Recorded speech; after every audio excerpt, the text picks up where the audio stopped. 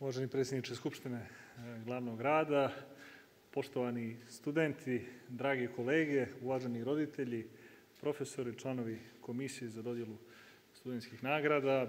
Koristim na početku priliku da vas sve skupa srdačno pozdravim u ime glavnog grada i u svoje ime i da vam čestitam ovo prestižno priznanje. Drago mi je da se ova lijepa tradicija nastavlja, tradicija koja ima za cilj da afirmiše akademske rezultate i da istakne u prvi plan one najbolje među studentskom populacijom, kao što je moja uvažena koleginica rekla, one kojima pripada budućnost našeg grada.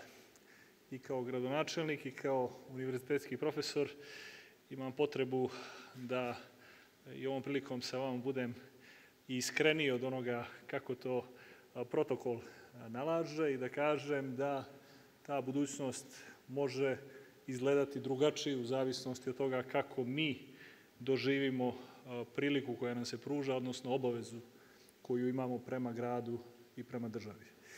Ja se iskreno nadam da ćete vi sobstvenu obavezu u tom smislu razumjeti na pravi način. Od danas nemate izgovor.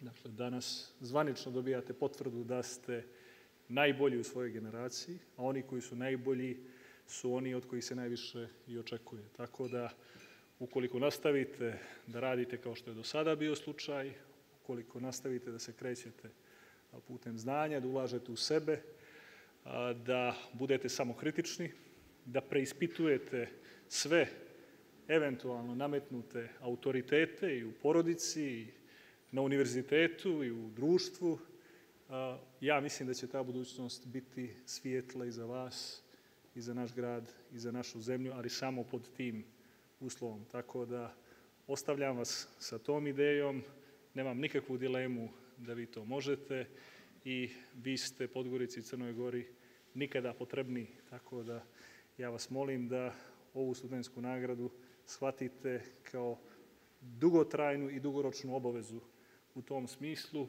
jer ukoliko vi Podgoricu i Crnu Goru ne budete mijenjali na bolje i ukoliko u narednim godinama ne uspijemo da ispletemo jednu mrežu samosvjesnih, samouvjerenih pojedinaca, ljudi koji znaju šta žele i ljudi koji baštine prave vrijednosti u svakom vremenu, bez obzira na to šta je aktuelna moda, mi nećemo postići željene rezultate. Tako da mi računamo na vas i ja sam apsolutno siguran da nas vi u tom smislu nećete iznevjeriti. Još jednom vam čestitam nagradu u nadi da će ona služiti kao motiv i za dalji uspješan rad.